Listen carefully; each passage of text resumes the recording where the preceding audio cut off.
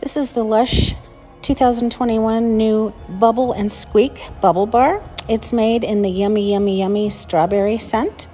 And basically, it's a bubble bar and a body scrub in one. So the directions say to rub it on your skin and while the water's running, and that this will create bubbles. And it does.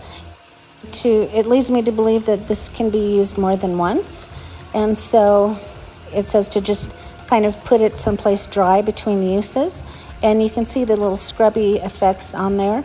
It doesn't color the water and it doesn't make a whole lot of bubbles, but it certainly smells wonderful like strawberries and it does exfoliate the skin.